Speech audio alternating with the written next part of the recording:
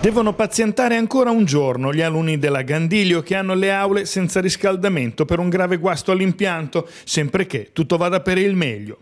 I tecnici del comune sono al lavoro dalle prime ore di questa mattina alla ricerca del guasto che ha provocato l'interruzione del calore nei termosifoni delle aule del corridoio lato mare.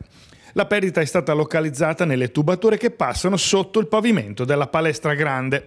L'edificio è stato realizzato nel 1962 e le tubature mostrano inequivocabilmente i segni del tempo e dell'usura, mentre la caldaia alcuni anni fa è stata rifatta e posizionata sul tetto dell'edificio.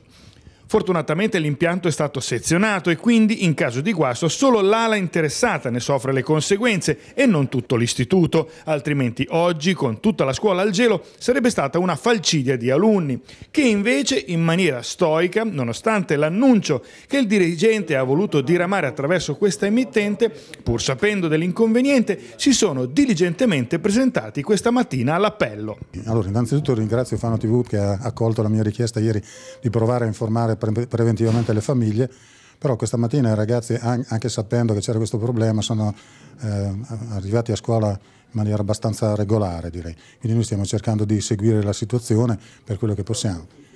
Il Comune, eh, appena abbiamo fatto ieri richiesta di, di, un controllo, ha fatto intervenire i tecnici da stamattina, già prima delle 8, sono al lavoro. Eh, è stata individuata la perdita de, dell'impianto, quindi mi auguro che in breve tempo si possa mettere a posto tutto quanto. Dati certi non ne abbiamo però. Quindi ancora qualche giorno di disagio ci sarà?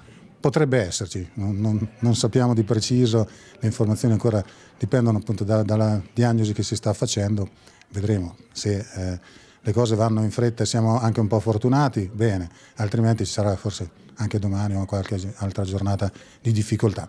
Dalle ultime valutazioni della squadra tecnica, se i pezzi da sostituire arrivano nei tempi giusti e non si manifestano altre perdite, nella giornata di domani i lavori dovrebbero terminare e quindi per giovedì mattina l'impianto dovrebbe entrare in funzione regolarmente e le aule quinti pronte ad accogliere gli studenti con la giusta temperatura.